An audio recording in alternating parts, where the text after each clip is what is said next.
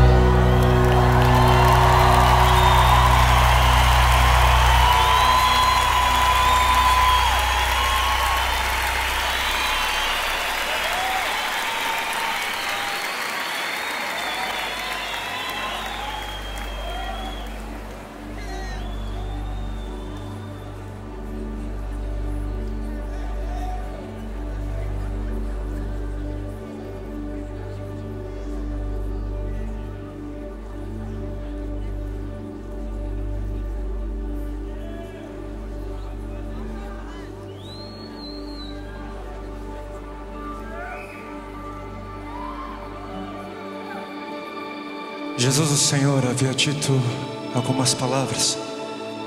E na sequência, no Evangelho segundo João, no capítulo 6, o versículo 60, nós lemos: Ao ouvirem isso, ao ouvirem as suas palavras, muitos dos seus discípulos disseram: Dura é essa palavra, quem consegue ouvi-la? Quem pode suportá-la? Hoje mais do que nunca, a cultura pop é celebrada em muitas partes do mundo, é celebrada em muitas partes do Brasil, e ela é lembrada hoje aqui. E algo que se pode dizer acerca da cultura pop é que ela gosta sim das luzes, ela gosta sim das grandes produções, ela gosta da, da festa, da música, ela aprecia muito bem tudo isso, e tudo isso é muito bom. Mas a cultura pop ou o mundo pop é bem light, é bem leve, é cordial, é, é atrativo. Não, não cabe muito bem no mundo pop falar que cristãos são torturados e mortos pela fé em Cristo Jesus ainda nos dias de hoje, não. Não, não cabe muito bem no mundo pop lembrar as pessoas de que no Nordeste brasileiro Centenas de milhares de crianças são escravizadas por conta da pobreza extrema.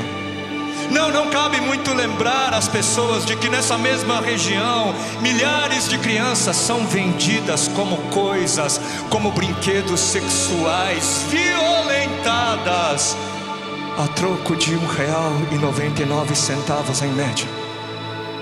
E não cabe muito bem nesse mundinho colorido pop dizer que a responsabilidade de muitas das injustiças do mundo são daqueles que poderiam fazer algo diante delas, mas fazem absolutamente nada ou fazem muito pouco. Não, no mundo pop tudo é de fácil aceitação, tudo deve ser de fácil aceitação, tudo muito doce, tudo muito açucarado. No mundo pop, o que vale é agradar a todos. O importante é que todo mundo saia satisfeito. Ofender alguém, ofender alguém, não, não, não, isso não cabe, isso, isso não se pode. Contrariar as opiniões e os pensamentos dos outros, não, não, não, isso não se deve, isso não se pode.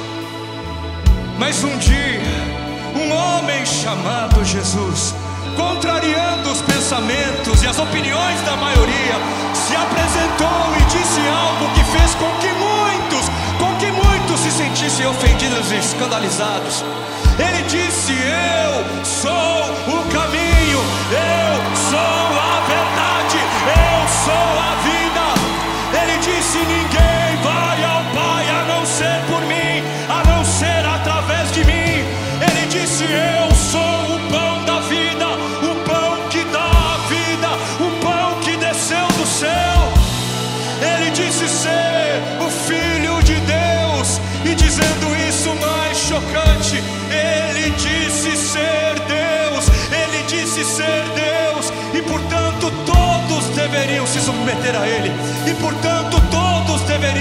arrepender de uma vida rebelde e se dedicar por inteiro a Ele e somente a Ele.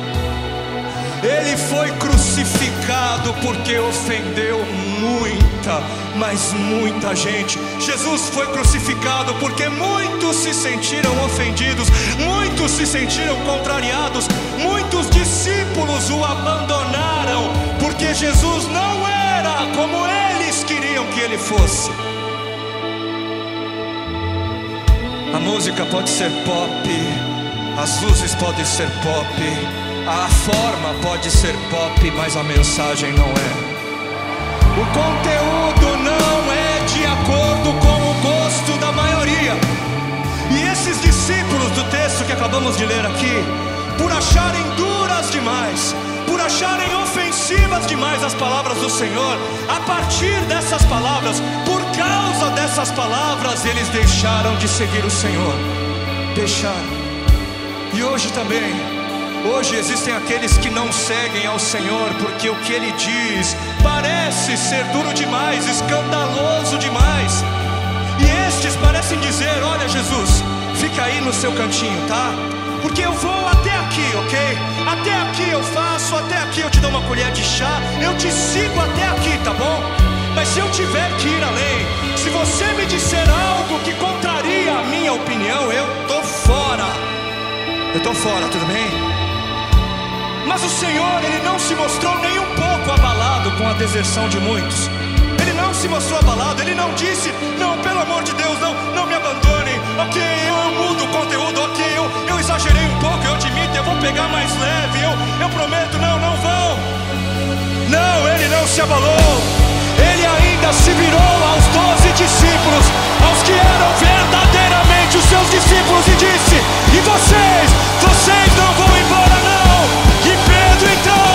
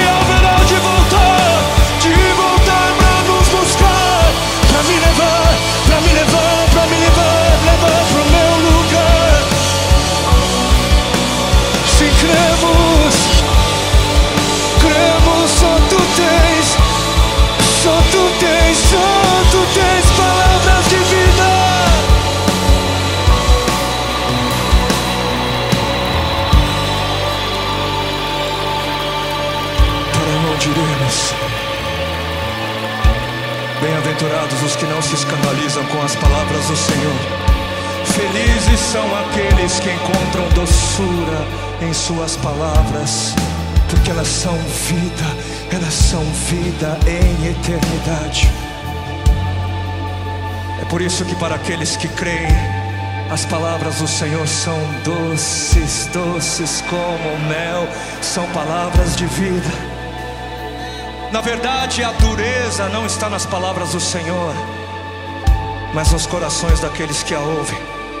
Não é a palavra que é amarga, mas é a boca que a experimenta que está cheia de amargura.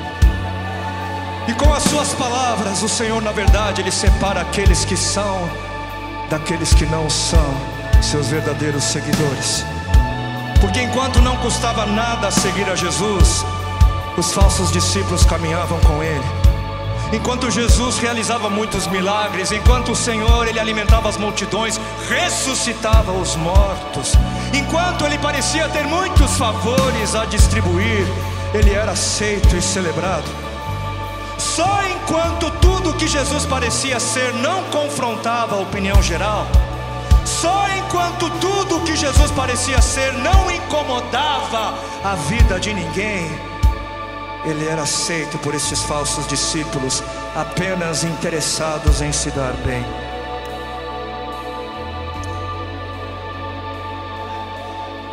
Os que creem que Ele é o Santo de Deus, os que creem que Ele é Deus, se interessam por aquilo que Ele tem a dizer e não se ofendem, não se escandalizam e se submetem se submetem, porque creem. Para estes, as suas palavras são palavras de vida, de vida em eternidade.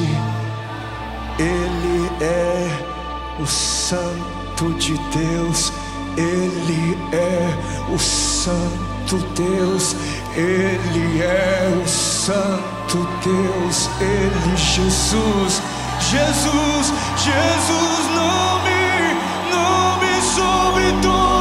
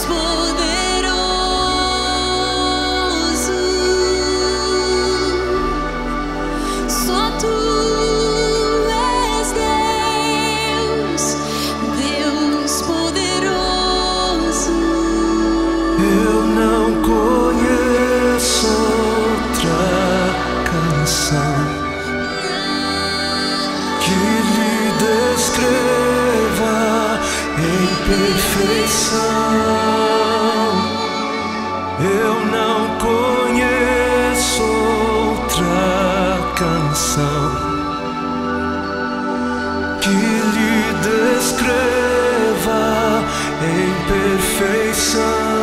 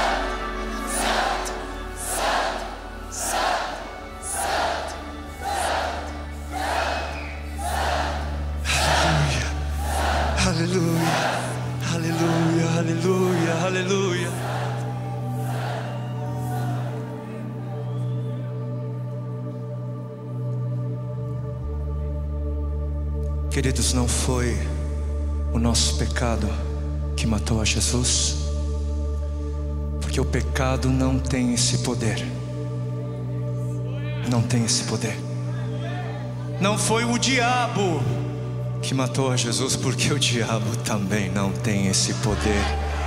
E não foram os judeus, não foram os romanos que mataram a Jesus, porque o homem não tem esse poder. Mas o que foi que matou a Jesus? O que matou a Jesus foi a sua entrega. Ele se entregou. Ninguém toma a minha vida, mas eu a dou. Disse-nos o Senhor. O que matou a Jesus, como disse o profeta, foi a sua escolha. Jesus diante de nós, ele se viu entre duas alternativas: ou ele teria de matar ou morrer. E Jesus, entre matar ou morrer, ele escolheu morrer, ele escolheu morrer, ele escolheu. Por quê? Por amor, por amor, por amor, por um amor incompreensível, por um amor que, que nós não conseguimos entender. E que bom que o amor não foi feito para ser compreendido, que bom que o amor não foi feito para ser entendido, mas para ser aceito, para ser abraçado. São doces as suas palavras, são palavras de vida e vida em eternidade. E nessa próxima canção nós iremos corresponder a esse amor, nós iremos nos lembrar desse amor.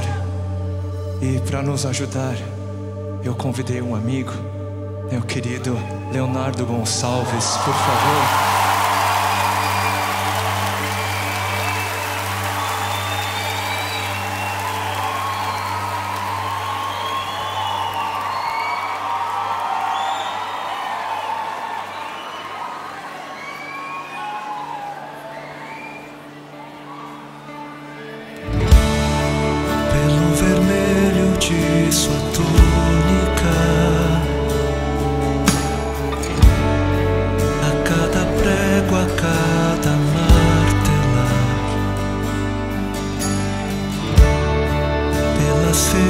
Feridas que afligiram o Senhor,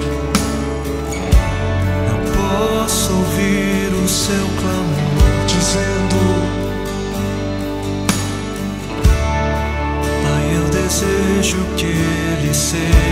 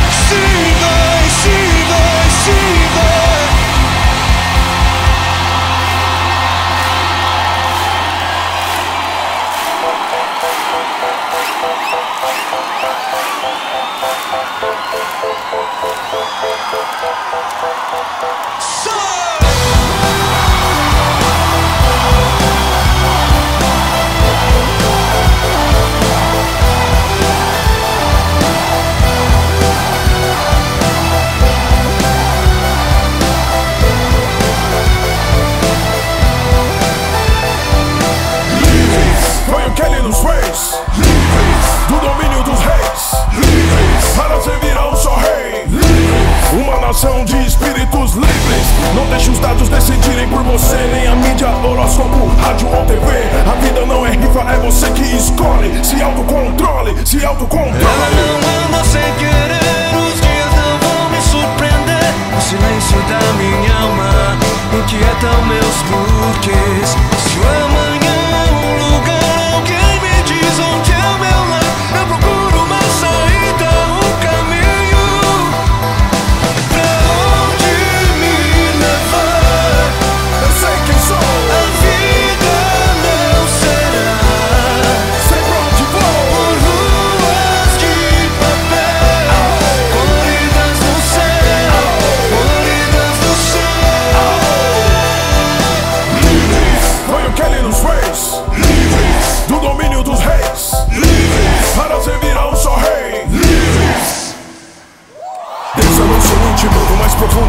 ser. Se autoconheça e depois procure aprender aquilo que o Criador planejou para ti.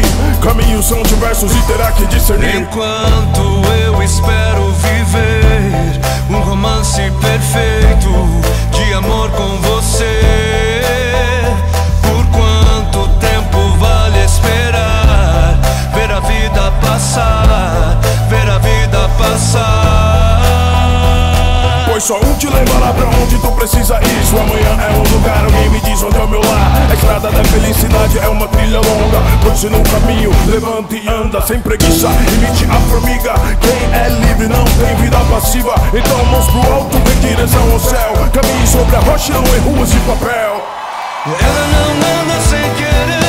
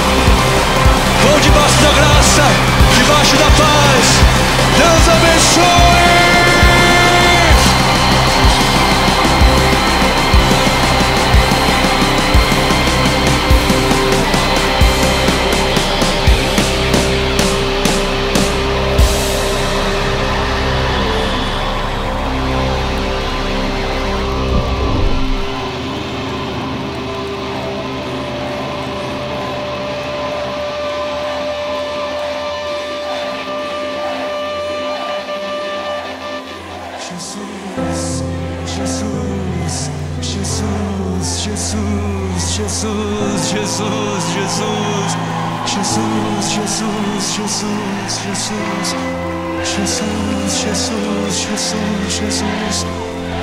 Jesus, Jesus, Jesus, Jesus, Jesus, Jesus, Jesus. Obrigado,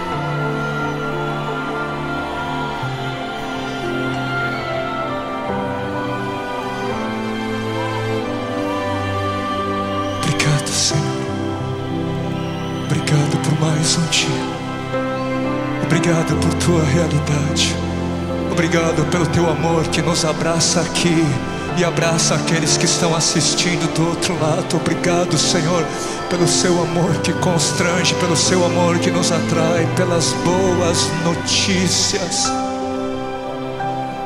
Continua, Senhor, a levantar, a sarar, a atrair, Senhor, os cansados, os feridos, os,